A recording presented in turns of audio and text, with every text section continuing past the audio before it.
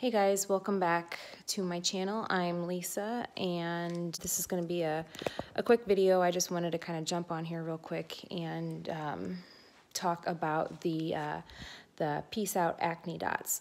So they are little like flesh colored, I'm doing this one-handed so bear with me.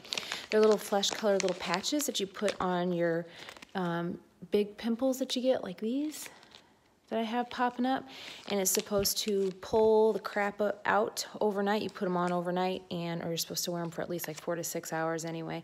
I wear them overnight and it helps pull the crud out of it and um, then you don't have to be squeezing or popping. So I've already washed my face um, and used my toner, which um, lately I have been using um, the Ole Henriksen, uh, it's the Glow 2O uh, dark spot toner. I got this from Influenster, um, complimentary for testing purposes, and so far I like it. I've been using it for a couple weeks. I've seen a little bit of a difference so far, um, but anyway, that's not what this video is about. So anyway, so here are the patches.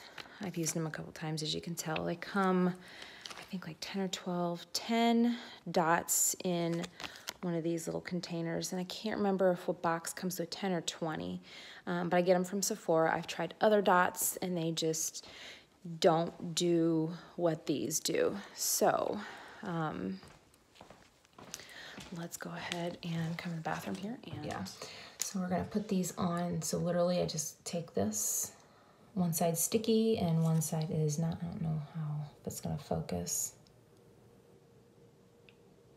Anyway, you just put them right on where the your troubled spot is. Where'd it go? There it goes.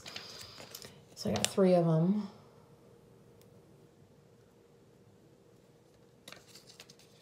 And one more here.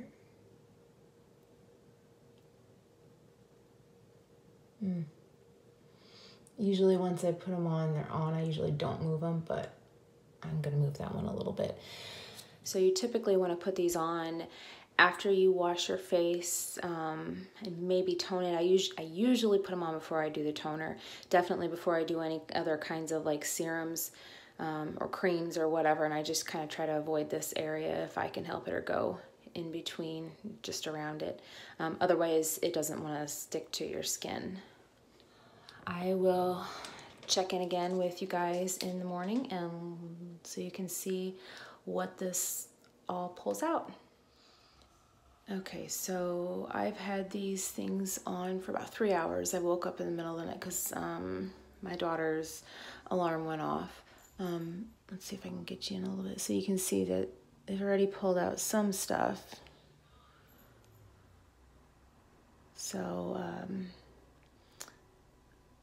we'll call this a three hour check-in.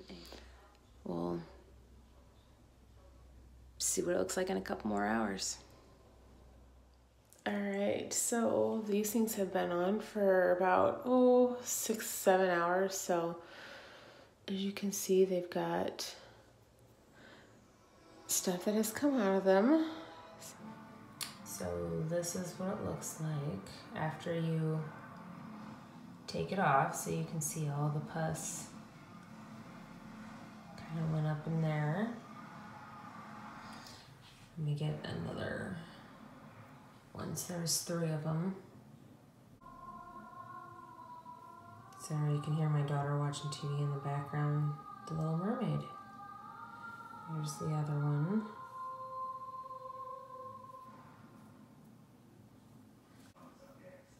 Wasn't a lot out of there than what I more less out there than what I expected. So here's what it looks like after. Right now they are pretty smooth, except for maybe this one. So tonight I'll probably put them on again and that should totally get rid of it. But they are a little sticky, but it definitely has helped. So Peace Out Acne Dots Magic or Hocus Pocus? I would go with Magic most of the time. Sometimes it takes a couple nights. Sometimes just one night is good enough if it's not that big. But these are pretty big, so it's gonna take probably another night or two. So I hope that helps, and if you ever decide on buying them, um, I definitely think they are worth the money.